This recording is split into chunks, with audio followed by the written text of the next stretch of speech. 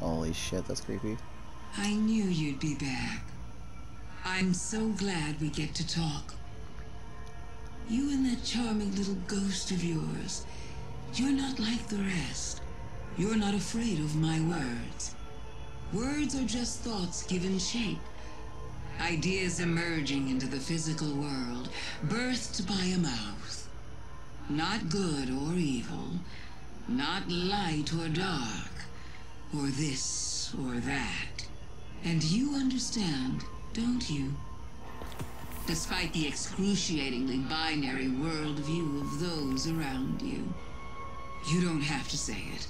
We've all heard it before. The line between light and dark is so very thin. As if you were incapable of lifting your eyes from a scroll of chalk on the ground. The traveler in the light near one foot, your old enemies and the darkness at the other. Let me tell you a secret.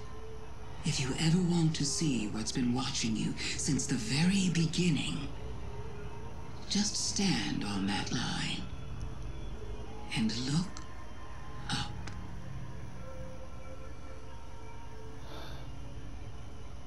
Holy fuck.